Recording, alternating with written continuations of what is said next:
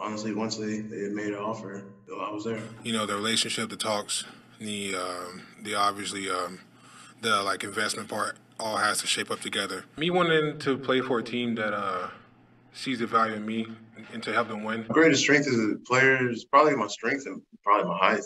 Um, you know, given my position and what, what my job title is. I mean, you, you get a rush, you know, uh, you know, being a defensive player coming here. Uh, these guys, you know, has done a lot of good things uh, historically, and uh, you know, uh, when you look on the wall and behind me, I mean, come on now. Well, I, I, one thing I do know is that uh, they're playing a one technique with a cock nose, and um, that's that's how I was introduced to the NFL. So I played for four years. Finally, finally, you could appreciate it. You know what I'm saying? Like everybody wants to hold up the Lombardi, and there's only you know there's one side of the ball that is very pivotal, and that's defense. So it's something I know that I can do, and I see myself fitting pretty well. So practice, weightlifting, the game, and in life. When you get in the car, when you're walking on ice, you can hurt yourself from position work, footwork, more stretching.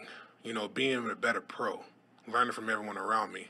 Going into year six was not only a, te- a step of faith, but everything that I learned and failed from the years prior made me to that point? No, I just say I'm I'm used to it. I'm I'm comfortable with two. I'm comfortable with the shade. It's just the one technique is what I what I uh, what I started to do as a rookie. So like you see Urlacher and Mike Singletary and a lot of defensive guys up here, and it's just like okay, you know, this is where I want to be.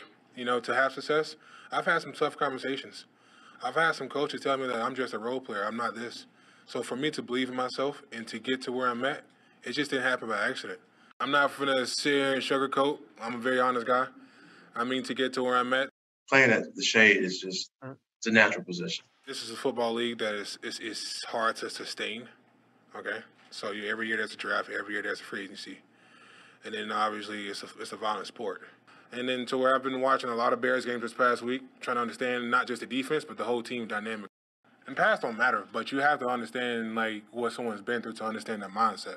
One thing about it, y'all gonna get me. All I can do is control what I can control.